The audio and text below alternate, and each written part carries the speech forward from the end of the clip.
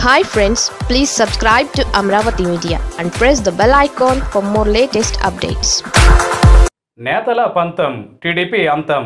ఎన్టీఆర్ సొంత గడ్డపై పార్టీ తీరు ఇది. జోగి జోగి రాసుకుంటే బూడిద రాలేదన్నట్లుగా ఉంది టీడీపీ పరిస్థితి.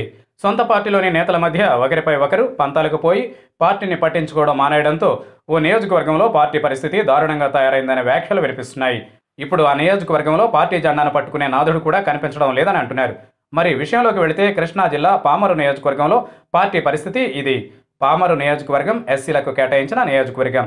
రెండు వేల పద్నాలుగులో ఇక్కడ నుంచి టీడీపీ తరఫున వర్ల రామయ్య పోటీ చేశారు.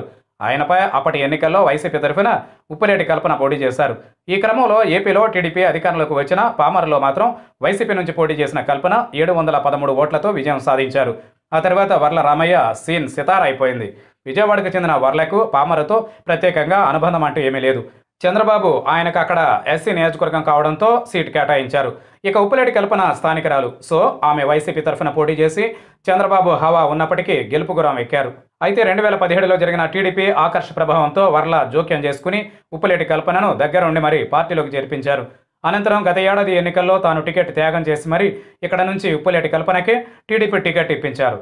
ఆమె గెలుపు కోసం వర్ల ప్రచారం కూడా నిర్వహించారు. అయితే ఆమె భారీ తేడాతో ఓడిపోయారు. ఆ తర్వాత టీడీపీ అధికారంలోకి రాకపోవడం కల్పన ఓడిపోవడంతో అప్పటి వరకు వర్లకు కల్పనకు రాజకీయంగా ఉన్న సంబంధాలు బెడిసికొట్టాయి. మీ వల్లే నేను వైసీపీ నుంచి బయటకు వచ్చాను. లేకుండా ఉంటే మళ్ళీ గెలిచేదాన్ని అని వర్లపై కొన్నాళ్ళ క్రిందట కల్పన ఆగ్రహం వ్యక్తం చేశారు. ఈ విషయంలో చివరకు చంద్రబాబు వద్ద పంచాయతీ కూడా పెట్టారు. అయితే ఇద్దరి మధ్య సఖ్యత కుదిర్చిన చంద్రబాబు కలిసిమెలిసి ఉండాలని హితో పలికారు. అయితే ఉప్పిలేటి కల్పన మాత్రం వర్లపై ఆగ్రహంతోనే ఉన్నారు. ఈ క్రమంలోనే ఆయన నియోజకవర్గానికి వచ్చినప్పుడల్లా తాను ఇంటికి తాళం వేసుకుని వెళ్ళిపోవడం తన అనుచరులు వర్లకు సహకరించకుండా అడ్డుకోవడం చేస్తున్నారు. దీంతో వర్ల కూడా ఆమెను పట్టించుకోవడం మానేశారు. అదే సమయంలో నియోజకవర్గంలో పార్టీ కార్యక్రమాలకు కూడా హాజరు కావడం అనుకున్నారు. పార్టీ పోలిట్ బ్యూరో మెంబర్ అయిన వర్ల రామయ్య తన మాటే చెల్లుబాటు కావాలని అంటుంటే తాను ఇక్కడ ఓడినా తనదే పైచేయి కావాలని ఉప్పులేటి కల్పన అంటున్నారు. దీంతో ఇద్దరు నేతల మధ్య ఆధిపత్య పోరు నానాటికి పెరిగి ఎవరు కూడా నియోజకవర్గంలో కార్యక్రమాలు నిర్వహించడం లేదు. ఇదే అదనుగా ఇక్కడ నుంచి గెలిచిన YCP MLA Kaile Anil Kumar TDP కార్యకర్తలను తన వైపు తిప్పుకునే పని ప్రారంభించారు. సో ఇది నేత నేత పంతం టీడీపీ అంతానికి దారితీసిందని అంటున్నారు పరిశీలకులు.